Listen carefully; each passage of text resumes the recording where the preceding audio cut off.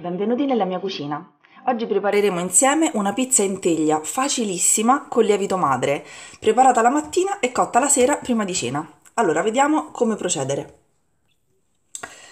Allora, io ieri sera ho tirato fuori dal frigo il mio lievito madre e l'ho lasciato a temperatura ambiente. Questa mattina alle 7 di mattina ho rinfrescato il mio lievito. Eh, se siete in inverno eh, i tempi sono molto lunghi, quindi vi consiglio di rinfrescarlo molto presto la mattina e di metterlo dentro al forno con la lucina accesa. Se siete invece in estate potete rinfrescarlo anche alle 9 perché in un paio d'ore il lievito raddoppia. Ok, detto questo. Ecco il mio lievito adesso è raddoppiato, sono esattamente le 10, il mio in 3 ore raddoppia e procedo con l'impasto. Vi do anche le dosi perché c'è qualcuno che mi chiede sempre mm, di, di, di, specificare bene le dosi. Allora, eh, per questa ricetta occorrono 120 g di lievito rinfrescato e raddoppiato, quindi io eh, questa mattina ho rinfrescato il mio lievito in questo modo. 48 g di lievito, 48 g di farina e 24 g di acqua, ok? Il totale fa 120 che adesso vedete nel mio vasetto freddo, sono passate 3 ore, è raddoppiato, procediamo con l'impasto. Le dosi che vi do sono perfette per due leccarde da forno, quindi sono perfette per 4 persone. Sono due leccarde belle abbondanti. allora, ci occorreranno 300 g di farina numero 1. Io uso questa qui eh, delle farine magiche. 300 g di semola rimacinata di grano duro e uso questa qui di cecco diamo una mescolata alle farine, eh, quindi nel complesso ci serviranno 600 g di farina. Se non avete queste che ho detto potete anche farla con la farina 00, con la farina 0, se volete potete anche usare farine integrali. Io mm, questa combinazione che vi ho dato è la mia preferita, quindi semola più farina numero 1. Secondo me la pizza con queste due farine è quella che viene più buona di tutte. Quindi mescoliamo le farine e andiamo ad aggiungere 460 g di acqua a temperatura ambiente. Poi aggiungiamo nell'acqua un cucchiaino di miele, io uso questo qui biologico. Ecco qui. Ed infine, come vi dicevo, 120 g di lievito madre rinfrescato e raddoppiato. Lo prendiamo proprio così a pezzi e lo mettiamo dentro il nostro, eh, dentro l'acqua, diciamo. Iniziamo a mescolare andando prima a sciogliere il lievito nell'acqua che insieme al miele inizierà ad attivarsi. Quindi riduciamolo in una specie di pastellina qui al centro dell'impasto ok. Dopodiché iniziamo a portare al centro la farina e iniziamo ad incordare l'impasto L'impasto come vedete è molto appiccicoso perché stiamo facendo una pizza ben idratata, però voi non aggiungete farina mi raccomando, è previsto che sia così, non vi preoccupate. Rimaniamo per il momento nella ciotola così se avete problemi ad impastare eh, sarà più semplice. Quando l'impasto inizia ad incordare aggiungiamo 15 g di sale sciolti in 20 g di olio evo e andiamo a mescolare. Adesso che l'impasto sarà più unto sarà ancora più semplice continuare ad, ad impastarlo. Una volta finito l'impasto, quando quindi avrà raggiunto una consistenza liscia e non grumosa, ehm, lo lasciamo nella sua ciotola e lo copriamo con un coperchio e ci vediamo tra 20 minuti per iniziare a fare le pieghe. Quindi mettiamo il timer 20 minuti. Ok, allora sono passati 20 minuti, adesso iniziamo a fare le pieghe. Eh, per questa ricetta ho scelto di fare le pieghe a tre. Se volete vedere gli altri tipi di pieghe sul mio canale, nella playlist eh, Lievito Madre Consigli e Ricette, trovate un sacco di tipi diversi di pieghe. Allora, cominciamo a fare in questo caso delle pieghe a tre.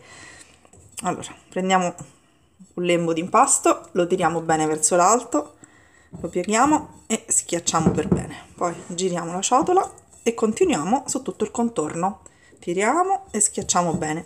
Allora, facendo in questo modo come vedete. Qui già si è creata una bolla solo toccandolo. L'impasto incorpora aria e diventa più forte quindi si formeranno dei begli alveoli.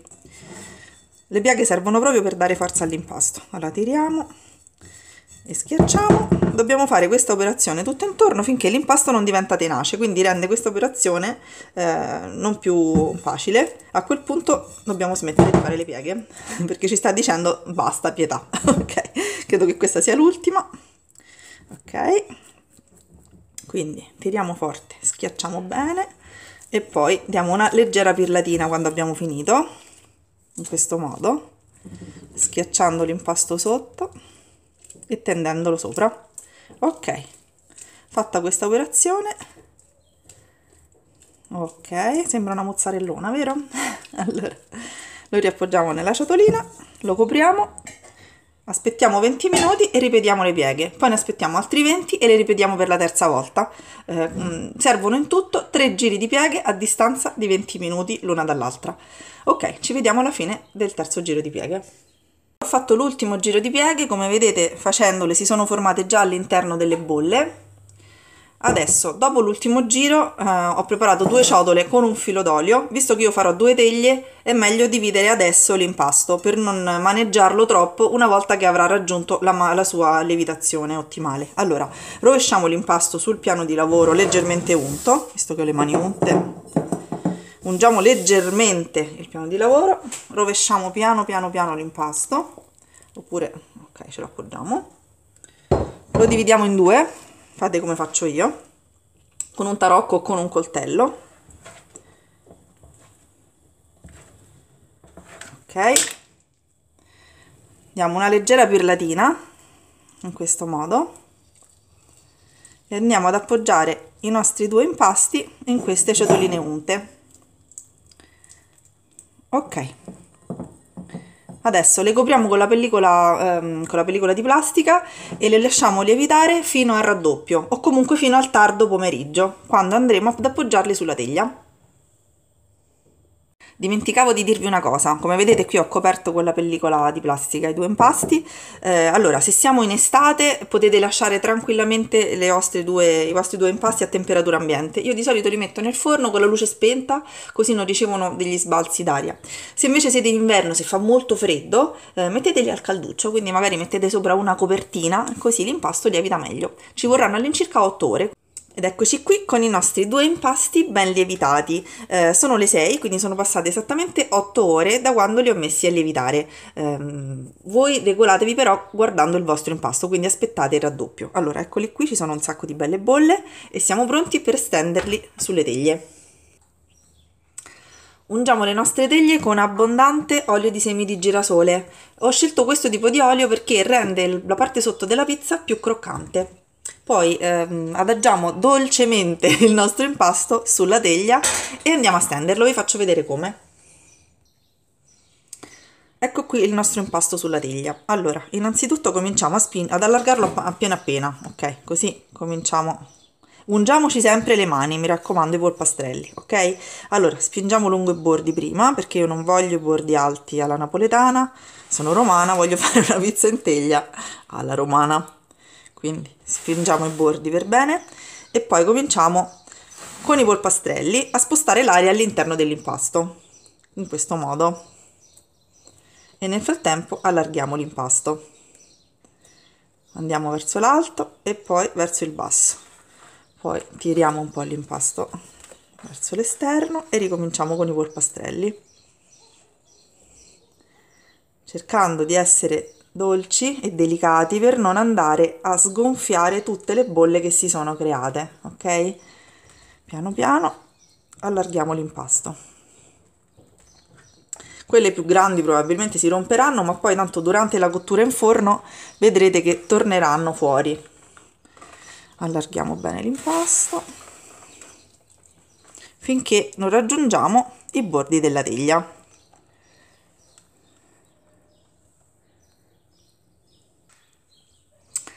Una volta finito di stendere l'impasto lo andiamo a mettere nel forno ancora per un'ora con la lucina accesa, così eh, farà una seconda lievitazione. Ed eccoci qui, le nostre pizze hanno fatto anche la seconda lievitazione, adesso siamo pronti per farcirle. Nel frattempo accendiamo il forno alla massima temperatura in modalità statica. Per scaldare il forno ci vorrà all'incirca un quarto d'ora e la cottura va fatta in questo modo. Condiamo le nostre pizze, le inforniamo nella parte più bassa del forno a contatto proprio con la base del forno stesso e le teniamo 10-15 minuti all'incirca poi tiriamo fuori la pizza, mettiamo i formaggi o soltanto se c'è qualcosa che si deve squagliare, eh, rimettiamo la pizza al centro del forno, quindi nel ripiano centrale, gli ultimi 5 minuti e la nostra pizza è pronta. Quindi andiamo a condire delicatamente. Io di solito preparo il pomodoro già con olio e sale. Mi raccomando, stendetelo con le mani delicatamente per non rovinare le bolle e poi andate ad infornare. Eccola qui, come vedete è bella bollosa, ve la faccio vedere da vicino. Guardate che bella. Piena di bolle. Adesso aggiungiamo la mozzarella, io ho scelto di mettere mozzarella di bufala e la rinfiliamo al forno gli ultimi 5 minuti, proprio soltanto per far sciogliere la mozzarella. Ed eccola pronta, due foglioline di basilico fresco ed è pronta da gustare. Ed anche la seconda teglia è pronta, questa volta invece farcita con speck, brie e noci e mm, zucchine, cotto e mozzarella. Adesso vi faccio vedere anche l'interno e nel frattempo vi saluto, vi do appuntamento alla prossima ricetta e mi raccomando se questo video vi è piaciuto mettete like, condividetelo e iscrivetevi al canale. Ci vediamo alla prossima!